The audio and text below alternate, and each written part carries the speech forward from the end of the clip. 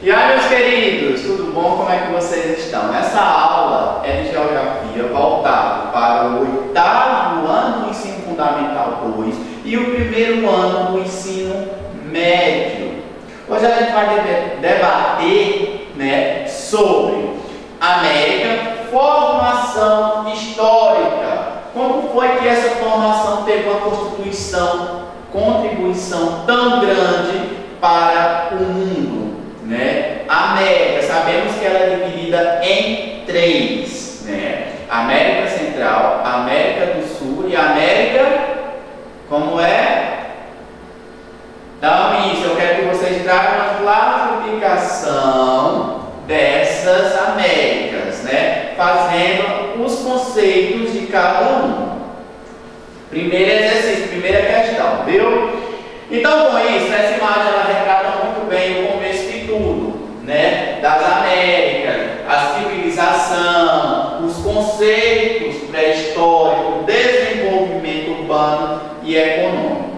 Né? Com isso, a história da América tem origens distintas, né, que depende do ponto de vista que se torna para realizar as narrativas históricas, do ponto de vista dos habitantes nativos, né, do continente. Essa origem histórica está radicada milhares de anos e foi constatada, né, sobretudo através das fontes orais e pictográficas. Né? Do ponto de vista dos ocupantes europeus, e essas histórias iniciou com a chegada dos primeiros navios à região. Né? Então, com isso, primeiras, esses primeiros navios eles chegaram e começaram essa colonização desse processo de urbanização economicamente nas Américas. Né? Então, com isso, a América pré-colombiana é, presenciou o surgimento e o desaparecimento de civilizações grandiosas, né? que deixaram um importante legado cultural, arquitetônico, como provocado pelas civilizações maias, incas e astecas, né? Também os demais povos que habilitaram-se, habitaram-se e ainda habitam as demais regiões da América do Sul, América Central, América Central e América do Norte, né? Deixaram suas contribuições para, para as conformações das características da população. Desse imenso continente, é necessário notar que o percurso histórico desses povos não se fez sem as contradições e sem as divisões entre os povos extintos e que no interior dessa sociedade ocorreram guerras, conflitos né, e opressões. Entretanto, a chegada dos europeus ao continente a partir de 1940, 1492, quando Cristóvão Colombo atracou né, as ilhas caribenhenses, né, transformou profundamente a configuração social, econômica e cultural e principalmente ambiental da América. Um dos povos que habitavam, os primeiros impactos ocorreram com a exploração econômica dos recursos naturais e da terra. Como isso aconteceu? A gente tira pelo Brasil. Quando os portugueses chegaram aqui, eles foram logo para quê? Os recursos naturais, aonde envolvia o pau-brasil, a procura de, de jazidas, diamantes, de ouro, porque a nossa terra ela é vista como aquela terra que tudo que se planta dá. Então começaram a explorar. Os índios, eles não tinham né, aquela ganância.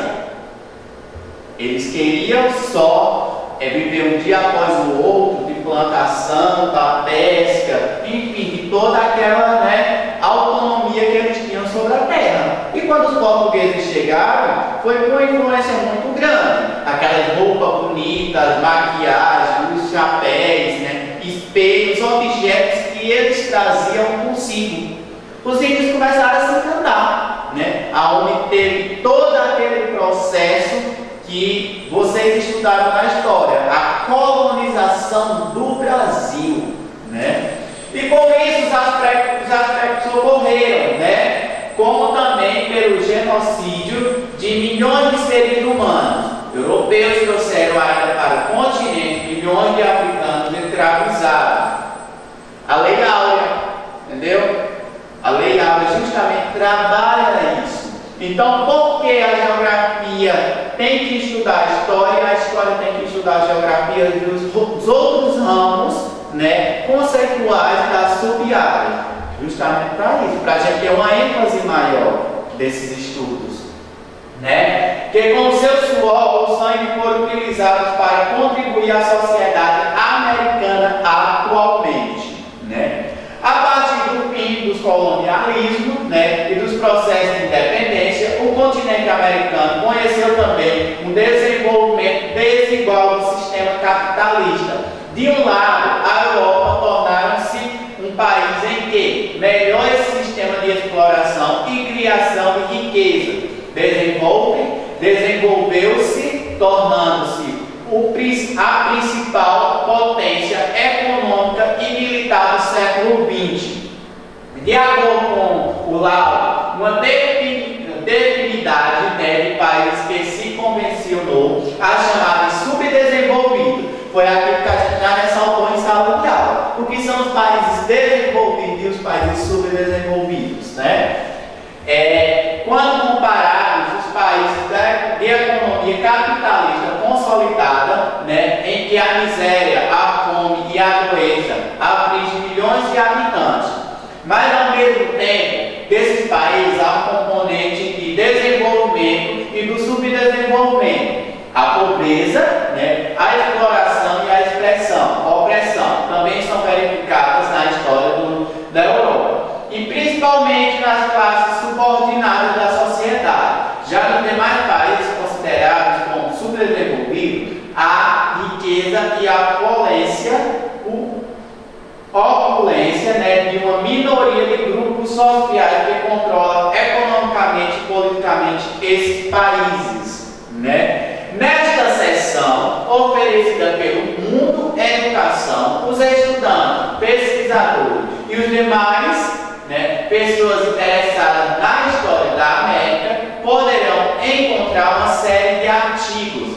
que trabalham né, os dois pontos de vista referente à história do continente da América, né, tanto dos artigos habitados, é, habitantes né, do continente, quanto dos, dos que aqui chegaram após o século. Qual é o século, gente? e poderão encontrar também as inúmeras contradições que compõem as trajetórias históricas das ações desses habitantes nesse espaço geográfico, que resultaram na necessidade de ter vida né, nos dias atuais, nos dias de hoje. Então, meus queridos, nossa aula de geografia para o oitavo ano né, do ensino fundamental 2 e o primeiro ano do ensino médio termina aqui. O que é esses fatores da América?